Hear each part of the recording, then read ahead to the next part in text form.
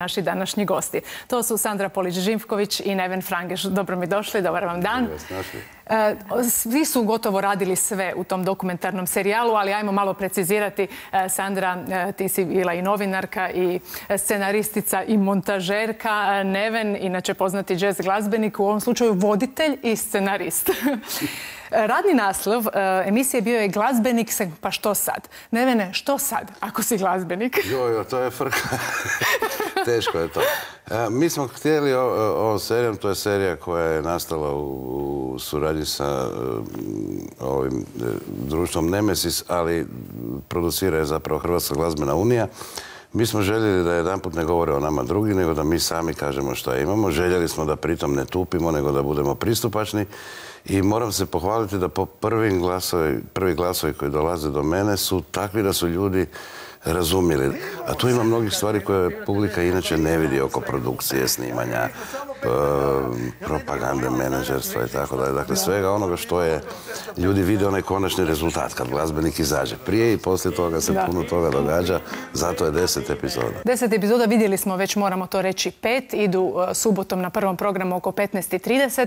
E, Sandra, što smo sve otkrili i uspjeli otkriti? Što je tebe osobno iznenadilo? Ti se družiš s glazbenicima, ali ipak nisi glazbenica. Što je tebe osobno iznenadilo u tom otkrivanju svijeta glazbeničkog? Pa puno toga. Najviše što je ono što se krije iza. U pripremama ono što normalan čovjek prosječan ne vidi.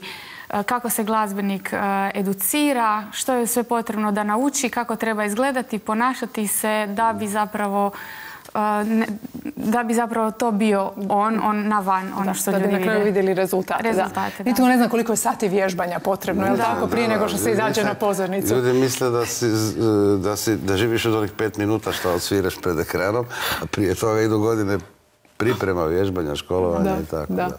E, kakva je statistika? Koliko ste ljudi intervjuirali? S koliko ste, e, njih, koliko ste glazbenika razgovarali i onih koji prate glazbu? Razgovarali smo sa preko stotinu ljudi. E, snimanje je trajalo tri godine i išli smo po festivalima i na mjesta gdje se glazbenici okupljaju. Dogovarali smo intervjue, odaziv je bio odličan.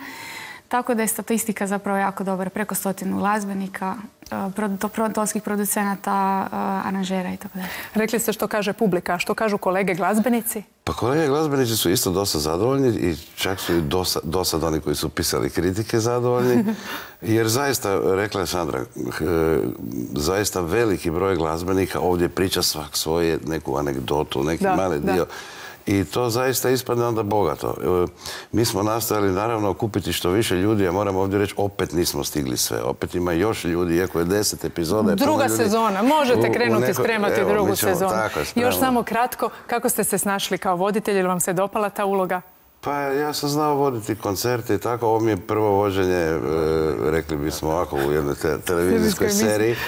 E, budući da se radi o mojoj struci i onda mi je to nekako da, bilo prirodno. prirodno da, da, da, Tako da nije bilo nekih većih... Kad budete vodili televizijsku To može Sandra bolje reći. Ona e, Sandra će nam ipak nešto drugo reći. E, najavi nam što nam je još preostalo vidjeti u sljedećih pet epizoda.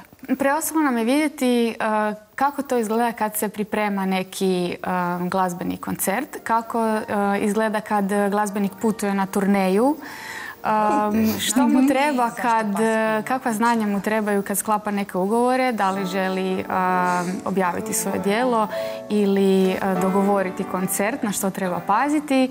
I kako je to zapravo kad glazbe nema. Glazba je svugdje oko nas, ali nekad se ipak shvaća zanemaruje. I u kakvim situacijama, kako bi to izgledalo kad, kad glazba ne bi bili prisutna. To bi grozno izgledalo, ja to odmah mogu odgovoriti.